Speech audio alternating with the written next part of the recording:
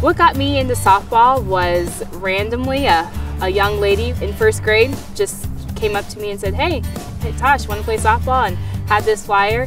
I brought it home to my parents and my dad had no idea what softball was. That's how it started, um, just me wanting to be next to the, you know, my friends in class.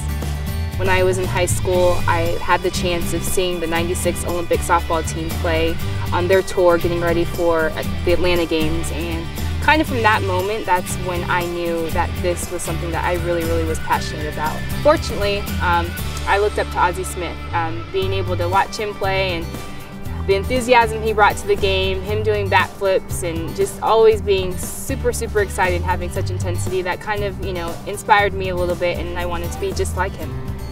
I started my foundation about two years ago. I do a lot of work in the inner city and I do a lot of work in LA at home with RBI, with reviving baseball in inner cities, and it just kind of came to me one day. Why not give these young girls an opportunity and a chance to play something that they probably would never come across on a normal day? And for me, to be able to introduce the sport to them and how excited they are about it, and, and maybe there's that one girl that, you know, maybe she does fall in love with this game and she does go to that next level and, and goes on to get a scholarship and go to college.